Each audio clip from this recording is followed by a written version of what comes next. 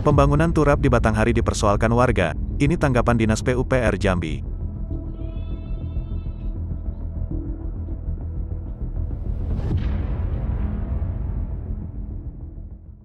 Selamat malam Tribuners, bersama saya Tria Wulandari. Inilah update berita terkini yang dilaporkan langsung reporter Tribun Network dari lapangan. Pembangunan turap di Dusun Hilir RT 11 Desa Rambutan Masam Kecamatan Muara Tembesi, Kabupaten Batanghari dipersoalkan warga.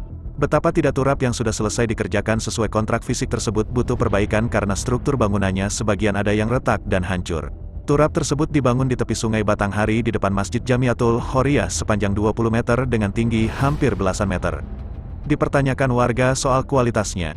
Kepala Desa Rambutan Masam, Aroni menyoalkan terkait pembangunan perkuatan tebing di desanya. Kades meminta kepada Dinas PUPR Provinsi Jambi dan pihak rekanan untuk memperbaiki dan menuntaskan pembangunan turap tersebut. Masyarakat Desa Rambutan Masam kata Kades sangat kecewa dengan kondisi bangunan turap saat ini. Beberapa hari belakangan peninjauan terkait pembangunan turap di Muara Tembesi ini dipimpin Yazer Arafat Kepala Bidang SDA Dinas PUPR Provinsi Jambi, pihak rekanan, pejabat pembuat komitmen dan konsultan pengawas.